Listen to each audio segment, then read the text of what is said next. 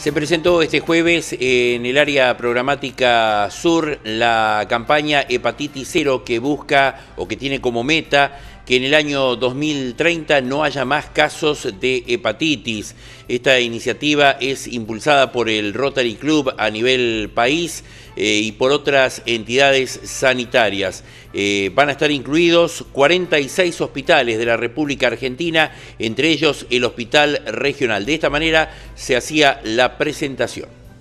Esta actividad se va a llevar a cabo los días 4 eh, de septiembre al 15 de septiembre en todo el país tiene como objetivo justamente esto, la concientización, que la gente se haga los, los test o los controles de hepatitis para saber cómo poder afrontar esta enfermedad en caso de tenerlas. En nuestra ciudad, el hospital de cabecera es el hospital regional y estamos eh, trabajando articuladamente con la Universidad Nacional de la Patagonia, San Juan Bosco, con la Facultad de Ciencias Naturales, la Facultad de eh, Medicina y también está participando el Departamento de Bioquímica, Farmacia y además tenemos el acompañamiento de la Asociación Española de Socorros Mutuos, el Hospital Regional, la Secretaría de Salud del municipio, el Hospital de Ratili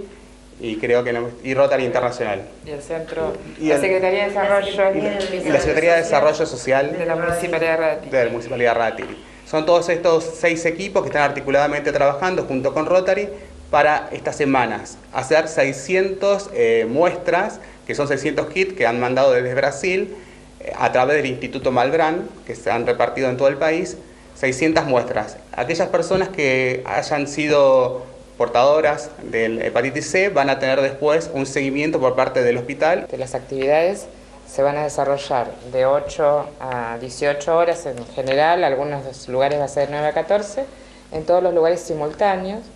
salvo de lunes a viernes, salvo el tráiler del municipio que va a estar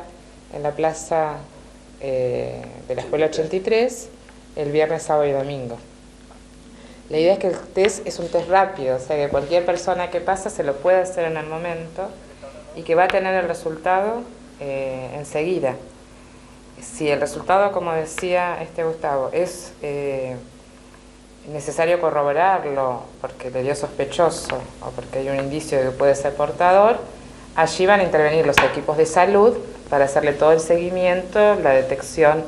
este, los, nuevos test que se hace con otras comprobaciones, que después, bueno, las bioquímicas van a avanzar y va a haber todo un acompañamiento del paciente de manera tal de que nosotros este, no solamente hagamos la detección precoz, sino también después el tratamiento y el seguimiento.